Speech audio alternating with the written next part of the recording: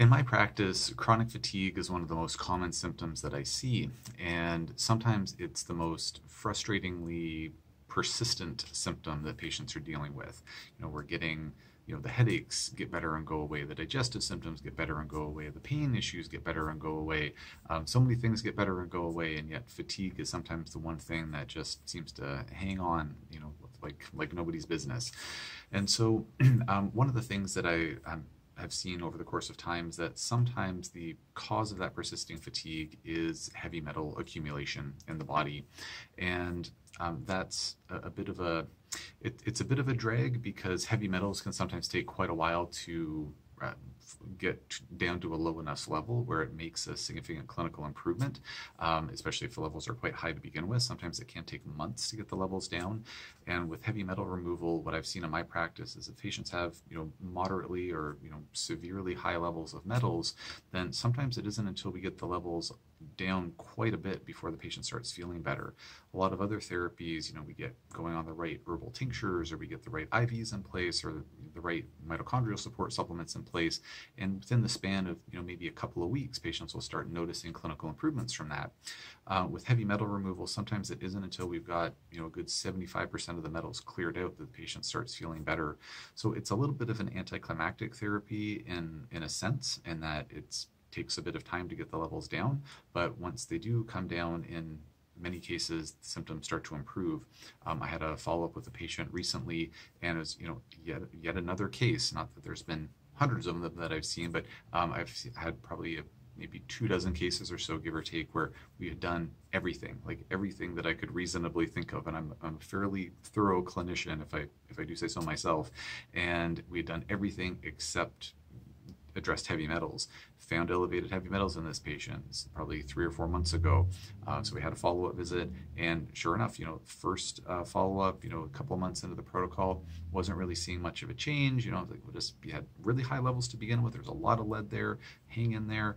Um, gave it another month and a half, and then energy levels picking up, feeling a lot better. The patient had some residual pain issues too.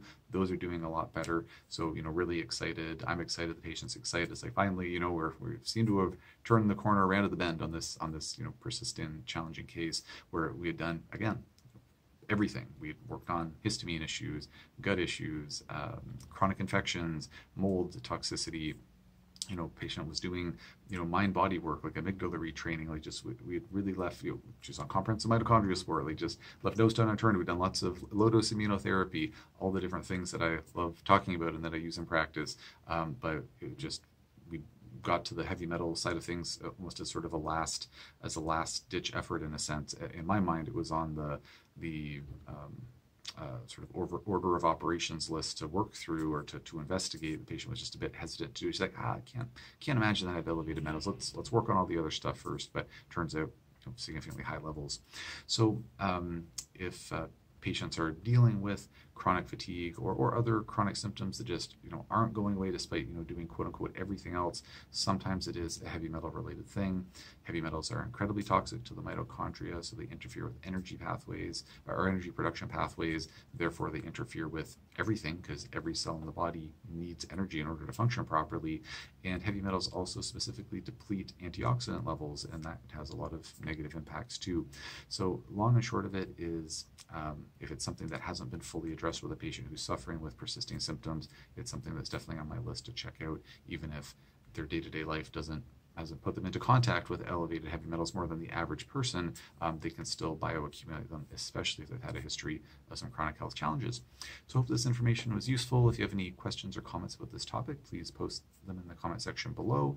And if you're not already subscribing to my newsletter, um, please consider doing so. Um, there's a link to do that in my link tree if you're watching on my bio, if you're watching this on Instagram, and if you're watching this on YouTube or Facebook, then there is a link below in the comment section. And uh, please feel free to join that newsletter. I send out a newsletter pretty much every week. I, I do my best um, and uh, just talk about some of the things that are happening in my practice, different initiatives that are going on, um, Q&A sessions if I'm offering those, things like that. So um, please feel free to join that newsletter if you would like to have access to that information. I will leave it there for now.